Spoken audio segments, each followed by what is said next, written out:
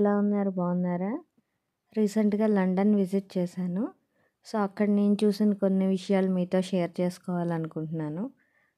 Portsmouth నుంచి London బస్సులో అయితే టూ అవర్స్ పైన పడుతుందండి. Two hours fifteen minutes twenty minutes depending on the traffic. So ముందు రోజు ఈవినింగ్ బయలుదేరాం మేము. ఇక్కడ లండన్ ఆల్మోస్ట్ రీచ్ అయిపోయాము. ఇది సిటీ ఎంట్రన్స్ అనమాట పోర్ట్స్మౌత్ నుంచి వెళ్తుంటే మేము లండన్ విక్టోరియా కోచ్ స్టేషన్లో దిగామండి. కోచ్ స్టేషన్ అంటే బస్ స్టేషన్ అనమాట సో ఇక్కడ ఏదో వెడ్డింగ్ జరుగుతుంది. అందరినీ రిసీవ్ చేసుకుంటున్నారు. ఈ కోచ్ స్టేషన్ పక్కనే మనకి విక్టోరియా ప్యాలెస్ అని ఉంటుందండి. అక్కడ మనకి ట్రైన్ స్టేషన్ ఇంకా ట్యూబ్ స్టేషన్ ఉంటుంది. సో సిటీలో ఎక్కడికి వెళ్ళాలన్నా మనకి ఇక్కడ నుంచి కనెక్టివిటీ ఉంటుంది. బయట ఇంకా బస్సెస్ అవి కూడా ఉంటాయి. ఇది చాలా పెద్దగా ఉంటుందండి. ఇక్కడ నుండి ట్యూబ్ ఎక్కాలంటే almost five to ten minutes walk చేయాలి మనం. ఇక్కడ అంతా షాపింగ్ అవి కూడా ఉంటాయండి. చాలా బాగుంటుంది. ఇక్కడ కేక్స్ చాలా భలే అందంగా కనిపించాయి. సో ఆగి వీడియో తీశాను చూడ్డానికే కాదు తినడానికి కూడా చాలా బాగుంటాయి. చూసారా ఈ హాల్ స్టేషన్ ఎంత పెద్దగా ఉందో?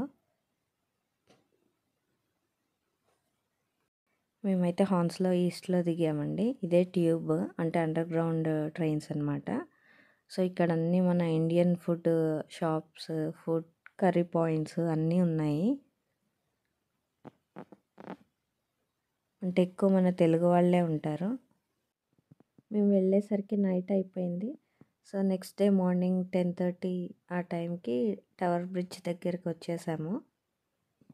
సో ఇక్కడ నుంచి మా జర్నీ స్టార్ట్ చేసాము. అట్లా లైట్ లైట్గా కవర్ చేసాము. ఎందుకంటే ఎక్కువ టైం లేదు. ఈవినింగ్ కల్లా మేము మళ్ళీ రిటర్న్ అయిపోవాలి పోర్ట్స్మౌత్కి. సో మాకున్న కొంచెం టైంలో ఎలా కవర్ చేశానో చూపిస్తాను. ఇదండి టవర్ బ్రిడ్జ్. ఈ బ్రిడ్జ్ మీద కూడా ఒక టెన్ మినిట్స్ వాక్ ఉంటుంది.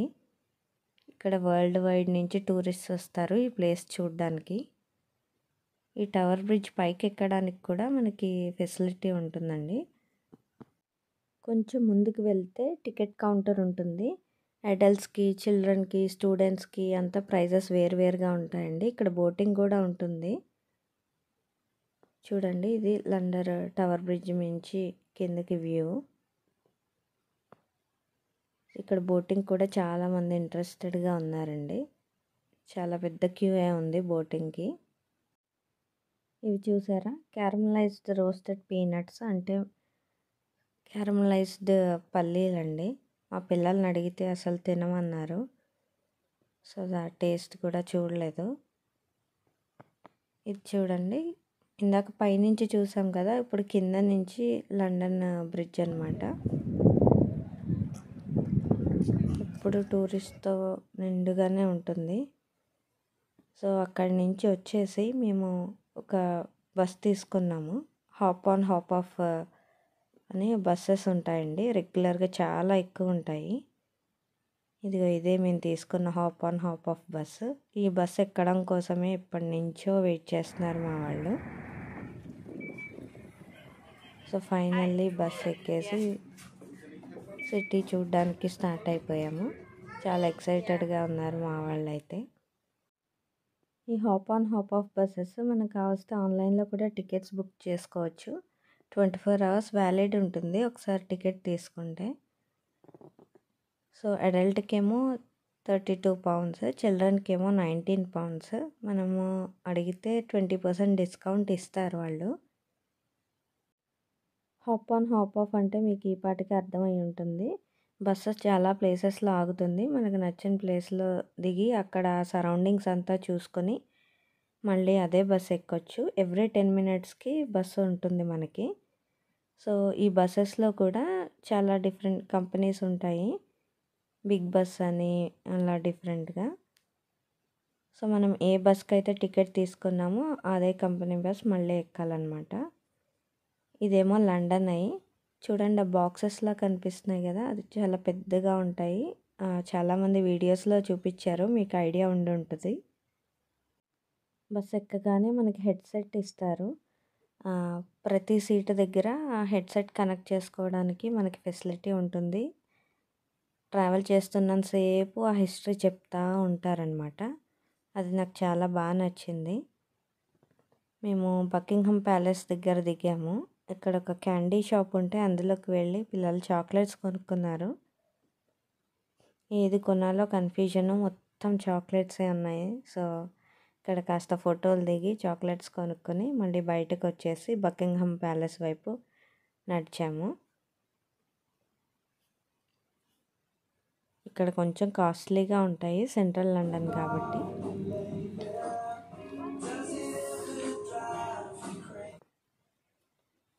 ఇదండి బకింగ్హామ్ ప్యాలెస్ బయట వ్యూ ఇదంతా.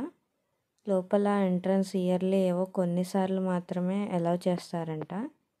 సో మ్యాక్సిమం అందరూ బయట ఇలా ఫొటోస్ తీసుకొని ఆ ప్లేసెస్ సరౌండింగ్ అంతా చూసి వెళ్ళిపోతుంటారు.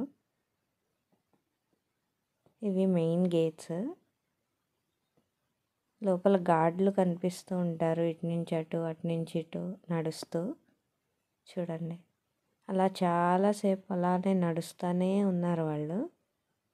లేకపోతే అలా స్టిఫ్గా నుంచుని ఉంటారు. అదే పనిగా చాలామంది చూస్తూ ఉన్నారు వీళ్ళు అలా చేయడాన్ని. ఈ బకింగ్హామ్ ప్యాలెస్ చూడడానికి వరల్డ్ వైడ్ నుంచి వస్తుంటారండి. అన్ని కంట్రీస్ పీపుల్ మనకి ఇక్కడ కనిపిస్తూ ఉంటారు. మొత్తం అందరూ పిక్చర్స్ తీసుకునే బిజీలోనే ఉన్నారు. మేము ఒక ఫిఫ్టీన్ మినిట్స్ టైం స్పెండ్ చేసి అక్కడి నుంచి వెళ్ళిపోయాము. ఇంకొంచెం సేపు ఉండొచ్చు కానీ మా పిల్లలు బస్సు ఎక్కడానికి ఇంట్రెస్ట్ చూపించారు. సో మళ్ళీ రిటర్న్ అయిపోయి బస్సు ఎక్కేసాము. బస్సెస్ ఫ్రీక్వెన్సీ ఎక్కువ ఉంది కాబట్టి ఎక్కువ టైం వేస్ట్ అవ్వలేదు. ఇది చూడండి ఇది పార్క్ అనమాట ఇక్కడ ఇంతకుముందు వైల్డ్ యానిమల్స్ ఉండేవంట. ఓల్డెస్ట్ పార్క్ అనమాట ఇక్కడ ఇలా చాలా బస్సెస్ కనిపిస్తాయి. ఇది డార్చెస్టర్ అండి. Five star hotel. World famous hotel అనమాట so one of the finest hotels in London world వైడ్లో కూడా. ఈ హిస్టరీ అంతా మనకి కంటిన్యూస్గా చెప్తూ ఉంటారు. సో అది చాలా అడ్వాంటేజ్ అనిపించింది. జనరల్గా మనకి ఇన్ని విషయాలు తెలియవు కదా. ఇది వెస్ట్ మినిస్టర్ ప్యాలెస్ అండి. ఈ వెస్ట్ మినిస్టర్ ప్యాలెస్లో అన్ని అఫీషియల్ మీటింగ్స్ అవుతాయండి. నాకైతే భలే నచ్చేసింది ఈ ప్లేస్. చూడండి ఎంత బాగుందో. ఈ బస్లో మనకి ఇంకొక ఫెసిలిటీ ఏంటంటే డిఫరెంట్ కంట్రీస్ నుంచి పీపుల్ వస్తారు కదా. సో జర్మన్ స్పెయిన్ నుంచి ఇటలీ నుంచి మనం ఏ లాంగ్వేజ్లో వినాలనుకుంటే ఆ లాంగ్వేజ్ సెలెక్ట్ చేసుకొని వినొచ్చు. ఇండియన్ లాంగ్వేజ్ లేదండి. ఎందుకంటే ఇండియాలో చాలా లాంగ్వేజెస్ ఉన్నాయి కాబట్టి. సో ఇంగ్లీష్ అనేది కామన్గా ఉంది. అది కాకుండా వేరే కంట్రీస్ లాంగ్వేజెస్లో కూడా అంతా మనకి హిస్టరీ చెప్తూ ఉంటుందన్నమాట.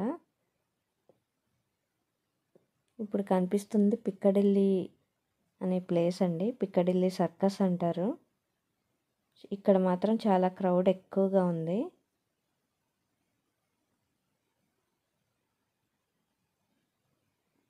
ఇదేమో ట్రఫల్గర్ స్క్వేర్ అండి. ఎక్కువగా ఇండియన్ ఫెస్టివల్స్ అవి ఇక్కడ సెలబ్రేట్ చేస్తూ ఉంటారు.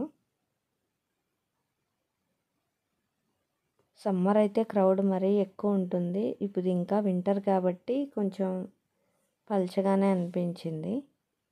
ఇదేమో హోటల్ మ్యారియట్. మనకు తెలుసు కదా హైదరాబాద్లో కూడా ఉంటుంది. ఇక్కడ హోటల్ తాజ్ కూడా ఉందండి.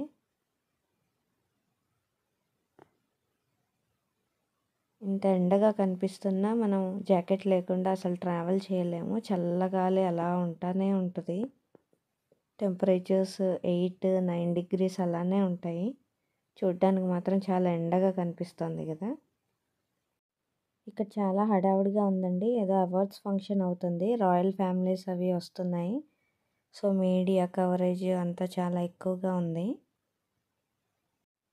ఇప్పుడు కనిపించేది వరల్డ్స్ క్లాసిక్ థియేటర్ అనమాట అంటే వరల్డ్లోని బెస్ట్ సౌండ్ సిస్టమ్తో ఇక్కడ థియేటర్స్ ఉంటాయట.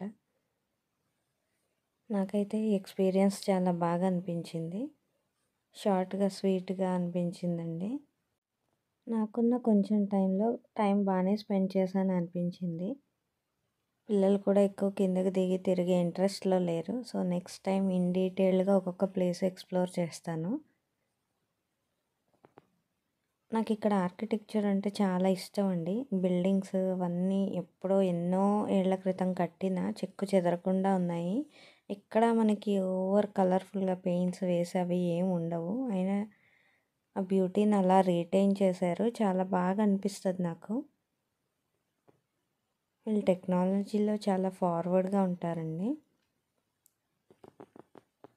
ఇది చూడండి మన సుప్రీం కోర్ట్ లాంటిది అనమాట the royal court of justice. మనకి ఇండియన్ సుప్రీం కోర్ట్ లాంటి ప్లేస్ అనమాట ఇది.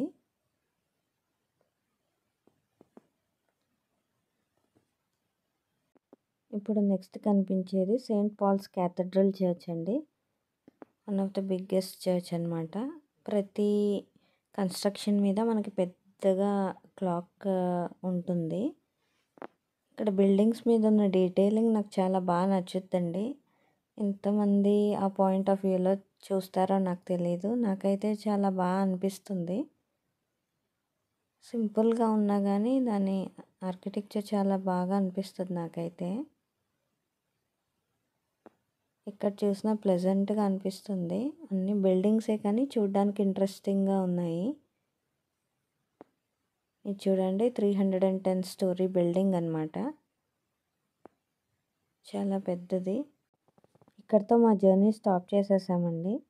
మాకున్న టైం రెస్ట్రిక్షన్ వల్ల ఈవినింగ్ ఫోర్ వరకే చూసి అక్కడి నుంచి మళ్ళీ లండన్ విక్టోరియా కోచ్ స్టేషన్ వెళ్ళిపోయాము.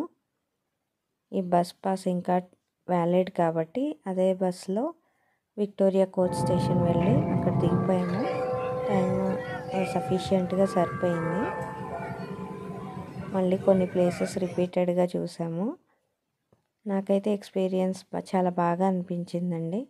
మీరు ఎవరైనా లండన్లో ఉంటే సరౌండింగ్స్లో ఉంటే ఒకసారి వచ్చి విజిట్ చేయొచ్చు. మీకు ఈ వీడియో ఎలా అనిపించిందో చెప్పండి. ఇక్కడ కనిపిస్తుంది చూసారా? అది ఆల్బర్ట్ పబ్ అని one fifty years old pub at అండి చూడండి మళ్ళీ ట్యూబ్ స్టేషన్కి వచ్చేసాము. ఇక్కడ నుంచి మళ్ళీ కోచ్ స్టేషన్కి వెళ్తాం మేము. ఇక్కడే మెగ్డీలో ఆగి కాస్త ఫుడ్ తినేసి అప్పుడు బయలుదేరాము. మెగ్డీలో స్పైసీ చికెన్ బర్గర్ బాగుందండి. కేఎఫ్సీకి వెళ్తే అసలు కారంగా ఏమి ఉండదని చెప్పారు. మన తెలుగు వాళ్ళే ఉన్నారు. ఇక్కడ బొకే షాప్ ఉంటే ఛాన్స్ ఎందుకు మిస్ చేసుకోవడం అని అక్కడ కూడా ఫొటోస్ దిగాను. So that's all for now అండి. Hope you like this video. Video కనుక నచ్చితే లైక్ చేయండి సబ్స్క్రైబ్ చేయండి. Thank you. Thanks for your time